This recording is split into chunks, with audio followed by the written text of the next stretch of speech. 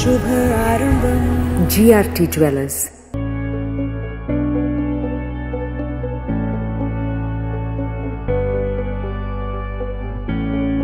நடுவர் சார்ந்த அவைக்கு என் பணிவான வணக்கம். நடுவரையா உங்ககிட்ட ஒன்று கேட்குறேன் பேசலாமா வேண்டாமான்னு எனக்கு கொஞ்ச நேரம் குழப்பமாயிடுச்சு.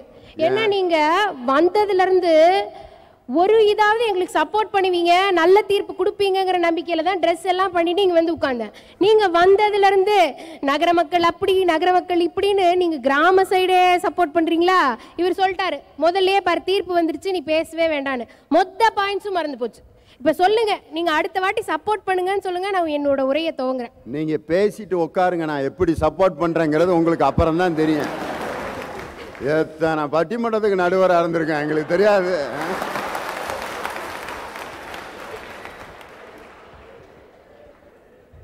வாழ்வின் வண்ணமயத்திற்கு பரபரப்பான நகர வாழ்க்கையே அப்படின்னு நான் பேச போறேன். எங்க வீட்டில் அவர் சொன்னாரு வண்ண மயம் இல்ல அது கூட ஒரு கால் போட்டுக்கோங்க. வண்ண மாயம் எங்க முதல்லயே தலைப்பு கொடுத்துருக்குறோம். வண்ண மயம்னு பேசுங்க. இதுதான் தலைப்புனா நான் ஒரு கால் சேர்த்துவேன் அரை சேர்த்துவேன்னு குதர்க்கமா இங்க வந்து சொன்னா எப்படி? வீட்டில் பண்ற கொடுமை பத்தாதுன்னு இங்கேயும் வந்து அவர் தப்பு தப்பா வாசிக்கிட்டு இருக்காரு அப்படின்ட்டு. உண்மையிலே ராமகிருஷ்ணனுக்கு இன்னைக்கு நேரம் சரியில்லைன்னு நினைக்கிறேன் நான். வண்ணமயம் அப்படின்னாலே கலர்ஃபுல் அது எங்கெங்க கிடைக்குது? ஜெகஜோதியா நகரத்துல எரியற நியான் விளக்க பார்த்தாலே மனசுக்குள்ள அப்படியே ஒரு உற்சாகம் பீரிடும். ஆனா கிராமத்துல எரியற நாற்பது வாட்ஸ் முட்டை பல்பை பார்த்தா எங்கேயாவது உற்சாகம் வருமா? உலகத்துல இருக்கிற மொத்த சோகமும் என் தொண்டைக்குள்ள அடைச்சுக்கிற மாதிரி இருக்குங்க. விவாத தலைப்பை வேணா மாத்திரலாமா? வண்ணமயமான வாழ்க்கைக்கு தேவை நியான் விளக்கா குண்டு பல்பா அப்படின்னு மாத்திரலாம். நாகரீகம் அப்படிங்கிற வார்த்தையிலிருந்து மருவி வந்ததுதான் நகரம். மலையும் மலை சார்ந்த இடத்தையும் குறிஞ்சிங்கிறோம் வயலும் வயல் சார்ந்த இடம் முல்லை. அதே மாதிரி தாங்க வசதியும் வாய்ப்பும் நிறைந்த இடம் நகரம்.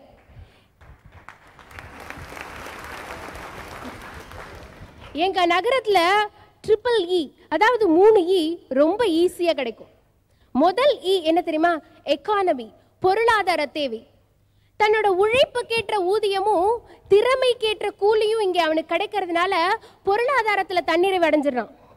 நான் ஒன்று கேட்குறேன் இப்பெல்லாம் கிராமத்தில் களை பிடுங்கிறதுக்கோ நாற்று நடவோ ஆளே கிடைக்கிறது இல்லையா? எல்லாம் திருப்பூர் பனியன் ஃபேக்டரிக்கும் கோயம்புத்தூர் மில்லுக்கும் வேலைக்கு வந்துடுறாங்க. ஏங்க உங்களுக்கு தான் அங்கே எல்லாமே இருக்குல்ல? பொருளாதார தேவையில்லை. நல்லா இருக்கீங்க அமைதியாக இருக்கீங்க. ஏன் அங்கேயே இருக்க வேண்டியதானே எதுக்கு எல்லாரும் இங்கே வரீங்க? விதைக்கும் திறன் கிராமத்தில் இருந்தாலும் வாங்கும் திறன் எங்க கிட்ட தாங்க இருக்கு. அதனால உங்களோட பொருளாதார தேவையை தன்னிறைவு செய்ய முடியும் அப்படின்னு சொன்னா அது நகரத்து மக்களை மக்களாகிய எங்களால தான் முடியும். அடுத்தது எஜுகேஷனுக்கு வரேன். ஒரு அடிப்படை கல்வியையோ ஆரம்ப கல்வியையோ வேணும்னா உங்கள் கிராமத்தில் கொடுக்க முடியும்.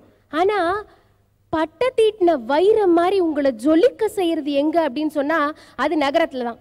ஒன்றும் இல்லை இவர் எம்எஸ்சி எம்ஃபில் இப்போ பிஹெச்டி படிச்சுட்டு இருக்காரு. ஏன் கிராமத்திலே பிஹெச்டி பண்ண வேண்டியதானே எதுக்கு நகரத்துக்கு வந்தீங்க?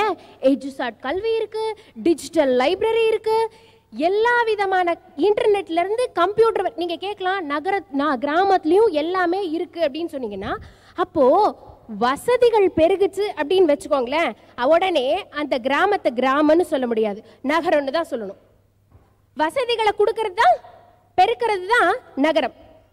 இங்க வந்து செல்லரிக்காத சிடி ரோம்ல பழங்கால கல்வெட்டை அழகா நம்ம பார்க்கலாம். அதாங்க நகரம். அடுத்தது எக்ஸ்போஷர் அதாவது ஒரு மனுஷனை வெளி உலகத்துக்கு அடையாளம் காட்டுறது அப்படின்னு சொல்லுவோம். அதுக்கு உய தகுதியான இடம் எதுன்னு சொன்னீங்கன்னா அதுவும் நகர்ப்புறம் தான். கிராமத்துல இருக்கிற வரைக்கும் நீ குடத்திலிட்ட விளக்கா இருப்ப. நகரம் தான் உன்னை பளிச்சு பளிச்சுன்னு லைட் போட்டு காட்டி குன்றிலிட்ட விளக்கா மாத்தும்.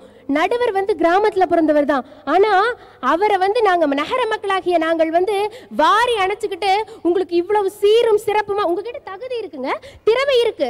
ஆனா கிராமத்துல நீங்க இருந்திருந்தீங்கன்னா இந்த அளவுக்கு ஆயிருக்க மாட்டீங்க. நகர மக்களான நாங்க தான் உங்களை இந்த அளவுக்கு கொண்டு வந்திருக்கோம் நான் பெருமையா ஒத்துக்கிறேன். அந்த ஜெனராசிட்டி எங்ககிட்ட இருக்கு. அடுத்தது பட்டங்கள் ஆழ்வதும் சட்டங்கள் செய்வதும் பாரினில் பெண்கள் நடத்த வந்தோம் சொன்னானே பாரதி. அந்த பாரதியின் பெண் சுதந்திர கனவு நனவாரது எங்கன்னு பாத்தீங்கன்னா அது நகரத்துல தான் எங்க கிராமத்துல எங்கள் எங்க நகரத்துல ஜாதி சண்டையெல்லாம் கிடையாதுங்க. பங்காளி ஃபைட்டும் போட்டுக்க மாட்டோம். ஊரை விட்டு ஒதுக்கி வச்சு வேடிக்கை பார்க்குற வழக்கம் எங்க கிட்ட கிடையவே கிடையாது. அதனால நாட்டை மிக பயங்கரமா உழுக்கிற ஜாதி சண்டைய தி ஜாதி சண்டையே இல்லாம செய்யற இடம் எங்க அப்படின்னு சொன்னா எங்க நகரம் தான். ஏன்னா நாங்க இங்க மக்களை அடையாளம் காண்பது படிப்பால தானே தவிர குடி பிறப்பால் இல்லை.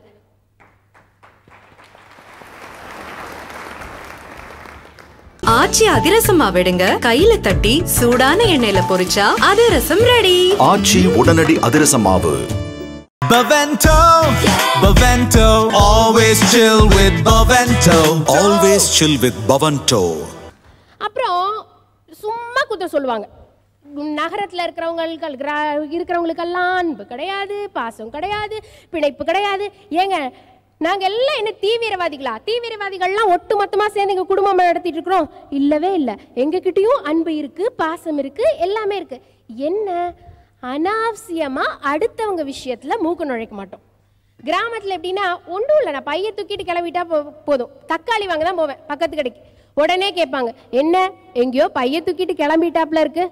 நான் கிளம்ப போறேனா? இல்லையா? அப்படின்னு நான் முடிவு பண்றதுக்கு முன்னாடியே அவங்க முடிவு பண்ணிடுவாங்க. என்னோட வீட்டு விஷயம் ஃபுல்லா அவங்களுக்கு தெரியும். நான் கையை நீட்டுறதுங்கிறது எது வரைக்கும் என்னோட கையை நீட்டுற சுதந்திரம் அப்படின்னு சொன்னா அடுத்தவங்க மூக்கில் முட்டாத வரைக்கும் தான். அந்த இங்கிதமும் சுதந்திரமும் ப்ரைவசிங்கிற அந்த விஷயமும் எனக்கு நகரத்தில் இயல்பாக கிடைக்குதுங்க. அடுத்தது இவர் சொன்னார் நகரத்தில் டென்ஷன் டென்ஷன் டென்ஷன் பென்ஷன் லைஃபுக்கு அப்புறமும் டென்ஷன் நீங்க ஓய்வா இருக்கிறது கூட ஊதியம் கொடுத்து உங்களை டென்ஷன் இல்லாம வைக்கிறது எங்க நகரத்தோட ஸ்கீம் தாங்க. பரபரப்பு. நகரம்னாலே பரபரப்பு பரபரப்பு அப்படின்னு சொன்னாங்க. திட்டமிட்டு பாருங்க எல்லா பரபரப்பும் ஈஸியாக காணாமல் போயிடும். எங்ககிட்ட சோம்பேறித்தனத்துக்கே இடம் கிடையாது. ஒன்றும் இல்லைங்க தீபாவளி தீபாவளி விடுமுறைக்காக திருப்பூருக்கு விட்ட லீவில் ஒரு வாரம் திருப்பூர் நகரமே ஸ்தம்பிச்சு போச்சு. நகரம் ஸ்தம்பித்ததுன்னு வச்சுக்கோங்க நகரத்துக்கு பரபரப்பு தான் அழகே. நகரம் ஸ்தம்பித்ததுன்னு வச்சுக்கோங்க அந்நிய செலவாணி நாட்டின் அந்நிய செலவாணி பாதிக்கப்படும். அதுக்கப்புறம் அவனுக்கு இந்த தீபாவளி பொங்கல் அதெல்லாம் தெரியாது. சப்ளை ஒழுங்கா வருதா? ஆர்டரை ஒழுங்கா கொடுக்குறானா? அதுதான். இல்லைன்னா நிறுத்திடுவான். நீங்க கேட்கலாம். எல்லா சுகத்தையும் விட்டுட்டு அப்படி என்ன சம்பாத்தியம் அப்படிங்கிறான். கையில காசு இருந்தா என்னைக்குமே தீபாவளி தாங்க. போட்டி நிறைந்த ச- போட்டி நிறைந்த சந்தையில நம்ம நிக்கணும்னா சில தியாகங்களை செஞ்சுதான் ஆகணும். ஜனரங்க ஜனரஞ்சகமாக சொல்லணும் அப்படின்னு சொன்னால் உங்ககிட்ட பரபரப்பை பற்றி ஒரு விஷயம் சொல்கிறேன் கிராமத்துக்காரங்க கூட ஆக்ஷன் நிறைந்த த்ரில் படத்தை தான் பார்க்குறாங்க இந்த தூர்தர்ஷனில் காமிப்பாங்க பாருங்கள் அவார்டு ஃபிலிம் இப்படி ஸ்லோவாக போகுமே. அந்த படத்தை யாராவது ஹிட் கொடுக்குறோமா அதனால பரபரப்பு ரொம்ப வாழ்க்கையில் அவசியம்.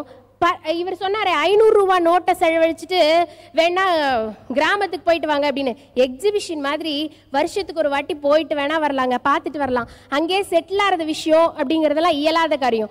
ஏன்னு சொன்னா இவர்கிட்ட வரும்போதே சொன்னேன் இப்படிலாம் வந்து பேசாதீங்க. செவ்வாய் கிரகத்துக்கு சேட்டலைட்ல தாங்க போனோம் படிச்சவர் மாதிரியே பேசுறாரு. பேராசிரியருங்க சொல்லிட்டே இருக்கேன். எத்தனை வாட்டி சொல்றது? இப்போ செவ்வாய் கிரகத்துக்கு சேட்டலைட்டில் தாங்க போகணும் அப்படிதான் முடியும். அப்படின்னு சொல்றேன். இல்லைம்மா மாட்டு வண்டியில கூட போகலாம் அப்படின்னே சொல்லிட்டு இருக்காரு. சொல்லி பார்க்கலாம். திருந்தல அப்படின்னா அப்புறம் என்ன பண்றதுன்னு தெரியல. ரஜினின்னா ஸ்டெயிலுங்க நகரம்னா ஸ்பீடுங்க. இங்க வாழ்க்கை மாறிக்கிட்டே இருக்கும். சும்மா புதுசுக்குன்னா புதுசா இருக்கும். நச்சுன்னு இருக்கும்னு சொல்லி என்னோட விவாதத்தை முடிச்சுக்கிறேன். நன்றி வணக்கம். நகர வாழ்க்கை எவ்வளவு மகிழ்ச்சியான வாழ்க்கைன்ட்டு ரொம்ப அழகாக பேசினாங்க. கிராமத்தில் இன்னைக்கு உண்மையிலே பெரிய அறியாமை இருக்குது கிராமத்து வாழ்க்கையில் காலையில் நடக்கிற ஒரு காட்சியை பாருங்கள் ஒரு வேப்பங்குச்சி எடுத்து அஞ்சரை மணிக்கு இப்படி சைடில் ஒதுக்குனாங்கன்னா ஒம்போதரை மணி வரைக்கும் பல்லு மட்டுமே வளர்க்குறான். நாலு மணி நேரம். இங்கிட்டு ஒரு இழுப்பு இங்கிட்டு ஒரு இழுப்பு. அந்த மூணு வேப்பங்குச்சி சேர்ந்துச்சுன்னா எதை பற்றி பேசுவாங்க நினைக்கிறீங்க? அப்புறம் ஆப்பிள சொல்லு. மழைகளை பெய்யுது சில சமயம் பெய்யவும் மாட்டேங்குது பேஞ்சா ரொம்ப பெய்யுது. என்ன ஒன்று சொல்கிற இன்னொரு கிராமத்தில் பார்த்தீங்கன்னா மழை பெய்யலைங்கிறதுக்காக கழுதைக்கு கல்யாணம் பண்ணி வச்சுக்கிட்டு இருக்கேன். கழுதை நிம்மதியாக குடும்பம் நடத்திக்கிட்டு இருக்கு மழையை காண. கழுதைக்கு கல்யாணம் பண்ணுறதுக்கு மழைக்கும் ஏதாவது சம்பந்தம் இருக்கான் ஐயா? எது மேலே எங்கே கொண்டு போய் நம்பிக்கை வச்சுருக்கான் பாருங்கள் ஒரு தாலுகா ஆஃபீஸ்காரரு ரேஷன் கார்டுக்கு கணக்கெடுக்க போயிருக்கார் ஒரு வீட்டுக்கு. ஒரு அம்மா வந்திருக்கு. அம்மா நான் ரேஷன் கார்டு கணக்கெடுக்க வந்திருக்கேன். உன் பேர் என்ன? அப்படின்னு சின்னம்மா அப்படின்னுச்சு. உங்கள் வீட்டுக்கார் பேர்? அதெல்லாம் நம்ம சொல்கிறது இல்லைங்க அப்படின்னுச்சு. அட நான் கணக்கெடுக்க வந்திருக்கேம்மா. நீ எந்த எதையாவது எடுத்துருப்பா நாங்கள் வீட்டுக்கார் பேரெல்லாம் சொல்லி பழக்கமே கிடையாது அப்படின்னு. ஐயோயோ இது மாதிரி ஒரு பத்து டிக்கெட் மாட்டுச்சுன்னா நான் எப்படிடா கணக்கெடுக்கிறதுன்ட்டு. மா ஏதாவது ஒரு ஐடியா கொடு. அதை வச்சு நான் உங்கள் வீட்டுக்கார் பேரை கண்டுபிடிச்சிடுறேன் அப்படின்னு. அந்த அம்மா சொன்னுச்சு இந்த கோயிலில் அடிக்கிறது இருக்குவார். அதுதான் அப்படின்னுச்சு. கோயிலில் அடிக்கிறதுனா என்ன விளக்கமாறா அப்படின்னு கேட்டேன். "ஆ? கோயிலில் விளக்கமாரில் அடிப்பாங்க? பூசை நேரத்தில் என்ன சம்பி அடிப்பாங்க? மணி. அந்த லூசு தான் அது அப்படிங்குது. வீட்டுக்காரர் லூசுன்னு சொல்லாமல் மணின்னு சொன்னால் அந்த ஆளுக்கு என்ன ஆயிர போகுது? பேரை சொல்கிறதுக்கு ஒரு மணி நேரம் அவனை பைத்தியம் பிடிக்க வச்சு அவன் எதுக்கு வந்தாங்கிறதே மறந்துட்டேன் அந்த ஆள். இது ஒரு பெரிய நம்பிக்கையா? கணவன் சாப்பிட்ட தட்டில் தான் சாப்பிட்றது. அந்த ஆள் பார்த்தீங்கன்னா அந்த தயிர் சோதரை நாய் குதறின மாதிரி குதறியிருப்பேன். அதை எடுத்து மடியில் வச்சுக்கிட்டு இது அது மேலே சோத்தை போட்டு சாப்பிடுது. நம்ம நினச்சிக்கிட்டு இருக்கான் கணவன் மேலே பாசத்தோடு சாப்பிட்றாங்கன்னு. கிடையவே கிடையாது. அதில் முக்கியமான ரெண்டு பாயிண்ட் இருக்குது மொதல் பாயிண்ட் என்னன்னா தட்டை திரும்ப கழுவ வேண்டிய அவசியம் இல்லை. ரெண்டாவது பாயிண்ட் தான் ரொம்ப முக்கியமான பாயிண்ட் அதில் உப்பு உரப்பு ஏதாவது கம்மியாக இருந்துச்சுனாக்கா கரெக்டாக போட்டு சாப்பிட்றதுக்கு வசதியாக இது தெரியாமல் நம்ம நினச்சிக்கிட்டு இருக்கோம் கணவர் மேலே பாசத்தில் அந்த அவர் தட்டில் சாப்பிட்றாங்கன்ட்டு. இன்னைக்கு இப்படி ஒரு நம்பிக்கை இருக்க இந்த இடத்துல இருக்கக்கூடிய கிராமத்தில் இப்படி மகிழ்ச்சி இருக்கும் அறியாமை அங்கே எக்கச்சக்கமாக இருக்குது இந்த அறியாமை இருந்த கிராமத்தில் இப்படி வண்ணமயமான வாழ்க்கை கிடைக்கும். படிப்பு வேணும்னா நகரத்துக்கு தான் வரணும். ராமகிருஷ்ணன் வந்து ரெட்டிய வெட்டிலையும் குட்டிய வெட்டிலையுமா பிஹெச்டி படித்தார் இல்லை. கோயம்புத்தூரில் யூனிவர்சிட்டியில் படிக்க வேண்டியிருக்கு. அதுக்கு எங்கே வரணும்? நகரத்துக்கு தானே வரணும். அழகாக பேசுனாங்க. அவருக்கு நான் நேரம் சரியில்லைன்னு சொன்னது சரியாக போச்சா? இங்கே வந்து கண்ட மேனிக்கெல்லாம் பேசாதீங்கன்னு சொல்லி தான் கூட்டிக்கிட்டு வந்தேன். செவ்வாய் கிரகத்துக்கு மாட்டு வண்டியில் போகிறேங்கிறாரு இவரெல்லாம் ஒரு காலேஜில் படித்தவரான்ட்டு வாங்கி கட்டியிருக்காரு நல்லா. இனி அதுக்கு பதில் சொல்லணும் அடுத்து கிராமமே என்ற அணியை தொடங்கி வைத்து அமுதா லட்சுமணன் அவர்கள் இப்பொழுது பேச வருகிறார். வாங்க. கல்யாண மாலை மோகன் தலைமையில் இயங்கும் எக்ஸ்க்ளூசிவ் சர்வீஸ் வரன் பற்றிய விவரங்கள் வெளியே செல்லாமல் மிகவும் பாதுகாப்பான மற்றும் பிரத்யேகமான சேவை. விவரங்களுக்கு nine eight four zero eight nine one four double zero மற்றும் double nine four zero four triple one two five.